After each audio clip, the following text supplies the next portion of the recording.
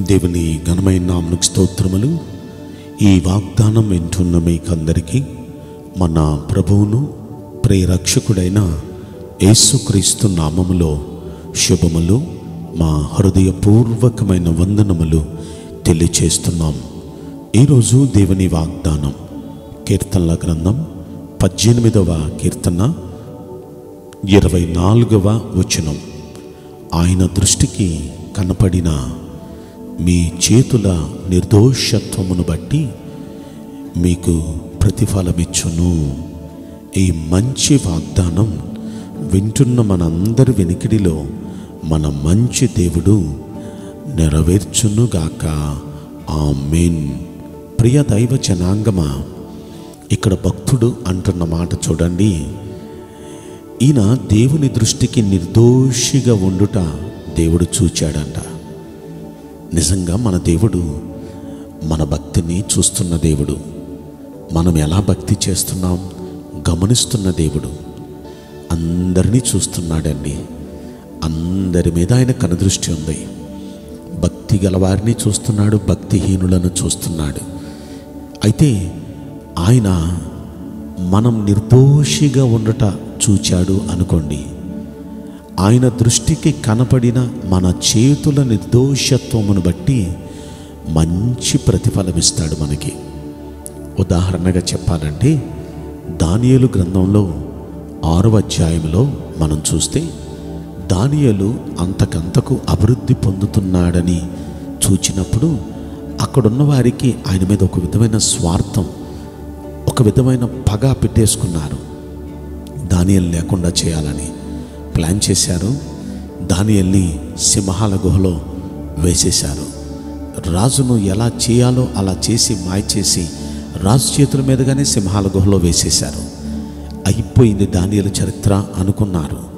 రాత్రంతా సింహాల మధ్య దానియలు ఉన్నాడు. అయితే దానియలకి ఏ విధమైన అపాయం జరగల? తెల్లవారుజామున రాజు వచ్చి ఇంకెవరు లేవక మునిపే వచ్చి చూస్తున్నాడు. దానియలు ఉన్నాడా లేడా? ఎందుకంటే దానియలు అంటే చాలా ఇష్టం రాజుకి. ఈ దానియలు గురించి ఆ రాత్రి అంతా తిండి తిప్పలు మానేసి నిద్రపోవటం మానేసి ప్రార్థన చేశాడు దానియలు దేవా నిన్ను నమ్ముకున్న నీ భక్తుడు సింహాల మధ్య పడిపోయాడయ్యా నీ భక్తుడిని నువ్వే కాపాడయ్యా అని దానియలు గురించి ఆ రాజు ప్రార్థన చేశాడు దేవునికి ఆ రాత్రి అంతా. పొద్దున్నే వచ్చి ఆ సింహాల వైపు గుహలోకి ఆయన తొంగి చూస్తే సింహాల మధ్య మోకాళ్ళుని దానియలు ప్రార్థన చేస్తున్నాడు. చుట్టూ సింహాలు ఉన్నాయి. ఆశ్చర్యపోయాడు. పెద్ద కేక వేసి అంటాడు ఓ జీవము గల దేవుని సేవకుడువైన దానియలు ఎంత గొప్ప దేవుడయ్యా నీ దేవుడు. నీ భక్తి ఎంత గొప్పదయ్యా.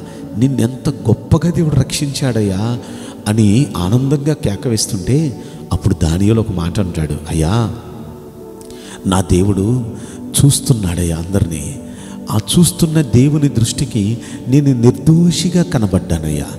వెంటనే నా నిర్దోషత్వాన్ని చూచిన దేవుడు ఈ సింహాల వలన నాకు ఏ హాని జరగకుండా నన్ను కాపాడటానికి నా కోసం దేవుడు తన దూతను పంపించాడయ్యా. ఆ దూత వచ్చి ఈ సింహాల నోళ్ళు మూసి నాకు ఏ హాని రాకుండా కాపాడాడయ్యా. నిజంగా మన కోసం దేవుడు తన దూతలను పంపిస్తాడు. మనం మన చేతుల నిర్దోషత్వాన్ని ఆయనకి మనం కనపరుచుకోవాలి. దావీదు తన చేతులు నిర్దోషి చేతులుగా ఉన్నాయి. ఏ దోషం లేదు. కనుకనే అతన్ని చూచి గమనించిన దేవుడు అతన్ని ఎలా కాపాడుకున్నాడో మనం చూచాం కదా.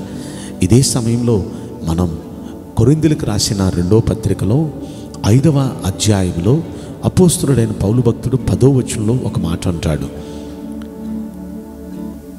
మంచివైన మన దేహంతో జరిగించే క్రియలు అవి మంచివైనా సరే చెడ్డవైనా సరే దేహంతో జరిగించిన వాటి ఫలాన్ని ప్రతి వాడు పొందినట్లు మనందరం క్రీస్తు న్యాయపీఠం ఎదుట ప్రత్యక్షం కావాలి. అంటే ఒక్క మాట గమనించండి. ఈ దేహంతో జరిగించే ప్రతి క్రియ అది మంచిదైనా సరే చెడ్డదైనా సరే దేహంతో జరిగించే ప్రతి క్రియకు మనం ప్రతిఫలం పొందబోతున్నాం. ఒకవేళ మంచి చేసామనుకోండి మంచి ప్రతిఫలం పొందుతాం. ఒకవేళ చెడు చేసామనుకోండి చెడ్డ ప్రతిఫలం పొందుతాం. ఈ రోజున ఈ వాగ్దానం వింటున్న మీ అందరి తరపున దైవచనుడిగా నేను కోరుకుంటున్నాను మీ అందరికీ మంచి ప్రతిఫలం రావాలి. కనుక శత్రువు కూడా మనం ఎప్పుడు మంచే చేద్దాం. శత్రువు గురించి కూడా మంచే ఆలోచిద్దాం. శత్రు విషయంలో కూడా నిర్దోషిగానే ఉందాం. ఏ దోషం మన చేతులకు అంటనేయొద్దు.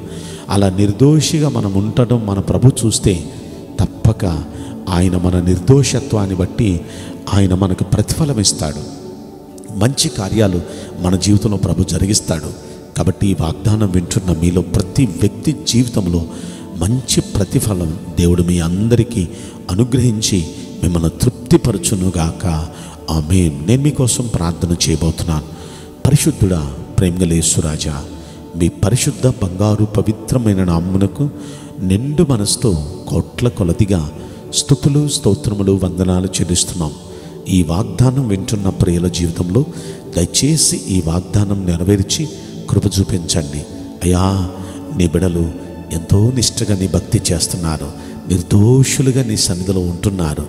చేయగలిగినంత వరకు తోటి వ్యక్తికి మేలు చేస్తూ ఎంతో జాగ్రత్తగా వారి భక్తిని కాపాడుకుంటూ ఉండగా దయచేసి ప్రతిఫలంగా నీ బిడ్డలందరికీ మేలు చేయండి. మీ బిడ్డలను ఆదుకోండి. ఈ కష్ట క్లిష్ట పరిస్థితుల నుండి లేవనెత్తి మంచి రోజులు వారికి అనుగ్రహించమని ఈ కొద్ది మనవులు నసురుడైన యేసుక్రీస్తు ప్రశస్తమైన నామములో మిక్కిలి వినయముతో ప్రార్థించి బ్రతిమలాడి వేడుకుంటున్నాం ప్రియ పరలోకపు తండ్రి. Amen may God bless you all thank you